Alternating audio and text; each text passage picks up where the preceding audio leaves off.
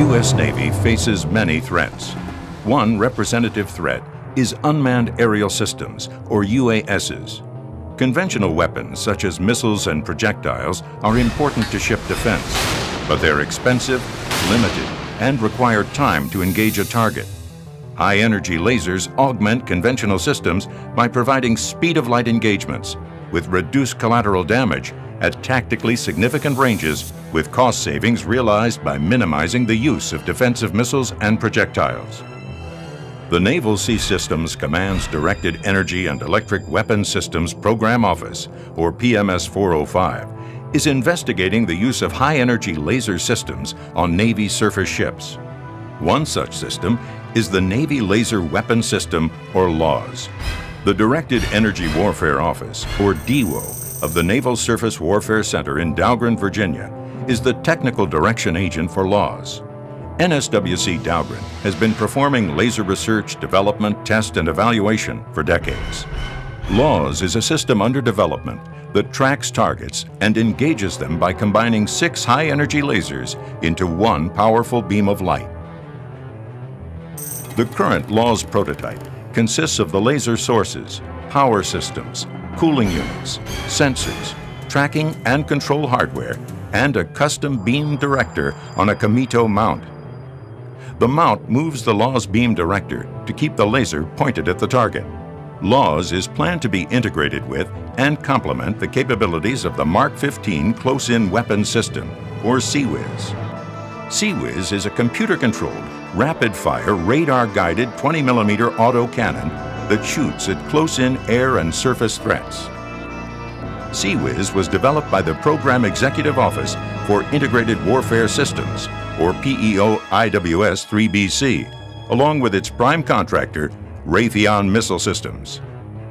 In 2009, LAWS was tested against UASs in a desert environment at the Naval Air Warfare Center in China Lake, California a team of scientists and engineers from NSWC Dahlgren, Computer Sciences Corporation Innovative Science and Technology Experimentation Facility, Pennsylvania State University Electro-Optics Center, and L3 Brashear set up and operated the LAWS system and instrumentation. The CIWS was not part of this test. The UASs were launched and flew a realistic flight pattern for engagement by the LAWS system at tactical distances. The test at China Lake was a complete success, locating, tracking, and shooting down five UASs at different ranges. Each of them caught fire, lost control, fell to the desert floor, and crashed, causing complete destruction of the UAS. The test demonstrated the capability of the LAWS system.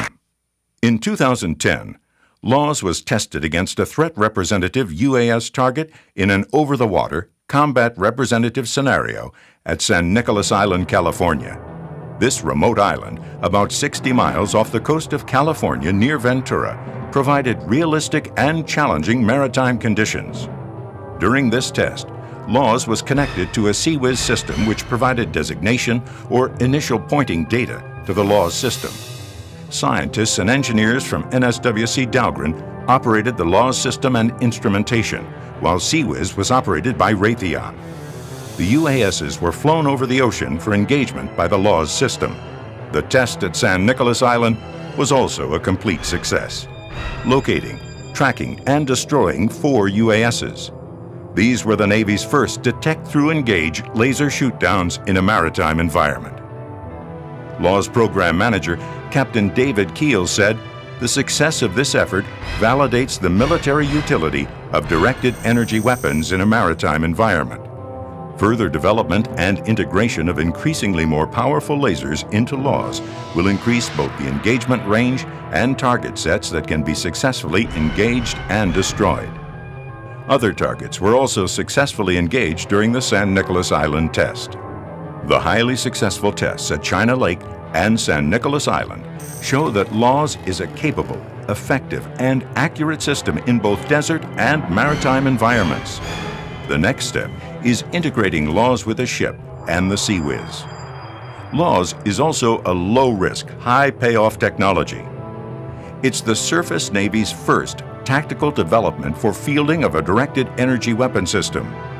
LAWS represents a game-changing technology that will provide Navy ship commanders with a new weapon that has nearly instantaneous time of flight, a deep magazine, and the ability to conserve defensive missiles and projectiles for use on other targets.